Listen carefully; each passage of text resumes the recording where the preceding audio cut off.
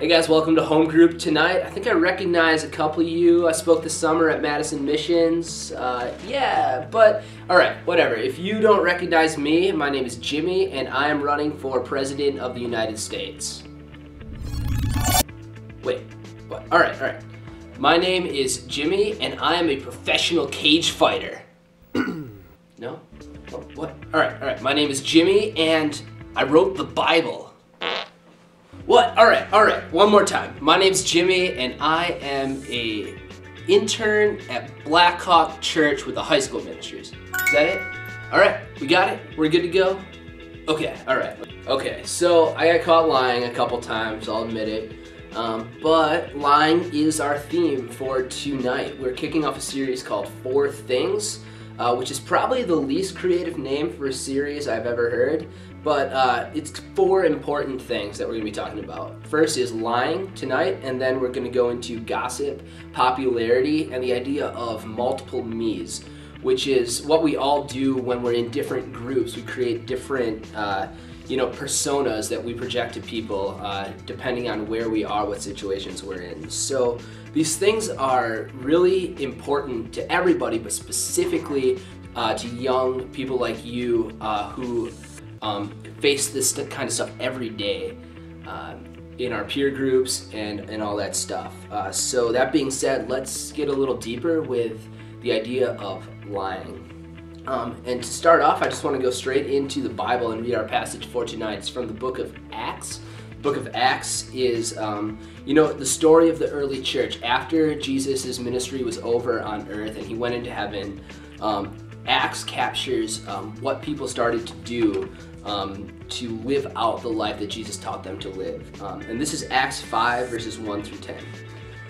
But there was a certain man named Ananias who, with his wife Sapphira, sold some property. He brought part of the money to the apostles, claiming it was the full amount. Uh, with his wife's consent, he kept the rest. Then Peter said, Ananias, why have you let Satan fill your heart? You lied to the Holy Spirit, and you kept some of the money for yourself. The property was yours to sell and not sell as you wished. And after selling it, the money also was yours to give away. How could you do a thing like this? You weren't lying to us, but to God. As soon as Ananias heard these words, he fell to the floor and died. Whoa! Whoa! Everyone who heard about it was terrified. Then some young men got up, wrapped him in a sheet, and took him out and buried him. Then, about three hours later, his wife came in, not knowing what had happened. Peter asked her, Was this the price you and your husband received for your land? Yes, she replied. That was the price. And Peter said, How could the two of you even think of conspiring to test the Spirit of the Lord like this?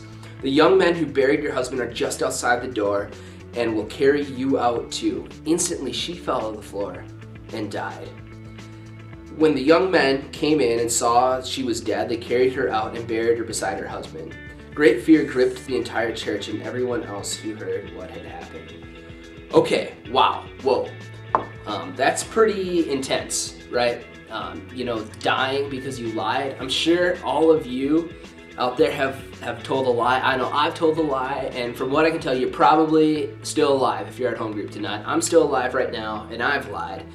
Um, so you know what can what can we learn from this uh, this story from the book of Acts? I mean, that's that's really intense stuff. What would this look like today? Um, like in your life, a situation similar to this, obviously, probably without without you dying. Um, picture this: like your parents or someone drives you to the movie theater, and you're with your friends, and when they drop you off, they give you twenty dollars to go see a movie, um, and when you get done watching the movie, maybe got some popcorn too, uh, you get home and they ask for the change. Because going to a movie, getting some popcorn doesn't cost $20, so they're expecting some change back. And you're like, oh no, I spent it all.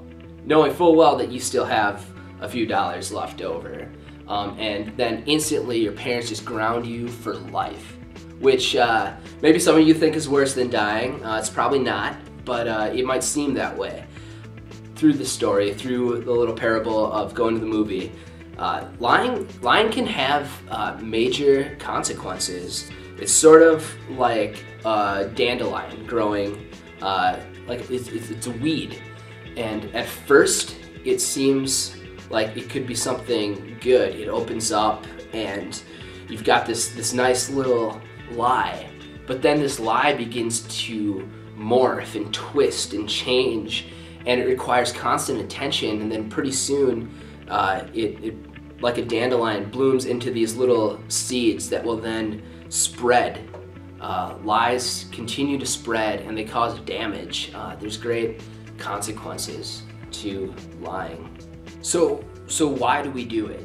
Because we're all guilty of being liars. Um, I just came up with a, a, short little list of different reasons why I think we lie. Um, one of them is to make ourselves look good. Uh, you know, we make something up about someone that we don't like to make ourselves look better. Uh, we lie to shift blame on someone else. Like, say uh, somebody calls you and they want to hang out, but you don't really want to hang out, so you tell them, hey, uh, my parents won't let me hang out with anyone tonight, so I'm sorry, I can't. But really, it's just you not wanting to hang out with this person. Why aren't we honest like that? We shift blame. Uh, we lie to avoid confrontation. Uh, like, yeah, yeah, I agree with that, even when we totally don't agree with somebody. we lie to get our own way. This would be like if you're lying in bed and you're like, oh, I can't go to school today, I'm sick, uh, but you're totally making it up to get your own way because you don't want to go to school. Um, here's one that's probably more controversial. We lie to be nice. Uh, we might see someone and say, hey, that's a really cool shirt you got there. It's a cool shirt. Uh, but inside we're like, it's not a cool shirt. No, not not cool at all. But we, we say something to be nice to somebody. And then uh, one thing we do, uh, and we're the only species that does this, is we lie to ourselves to make ourselves feel better. Um, like we say, hey, I don't, I don't watch too much TV, or I don't play too much video games. Uh, when really we, we might, you know, do those things too much. So in the midst of all these lies, um, you know, there's a deep, deep desire within our hearts uh, to be God, and that's the root of all sin. Uh, when we lie, we feel like kings and queens, uh, that we have tons of power and control. And lying is this, this cognitive skill that we do, and it requires intelligence and perception. Uh, because when you lie, uh, you're literally manipulating reality and twisting it uh, for your own good. And then you have to maintain that lie, and it's really, it's really hard work. I think the, the fact that we lie so much is scary, and that we lie to ourselves is even scarier.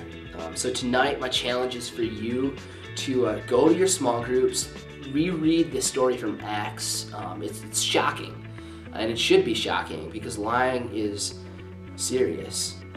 Have a great uh, small group conversation tonight. Uh, have a great night, you guys.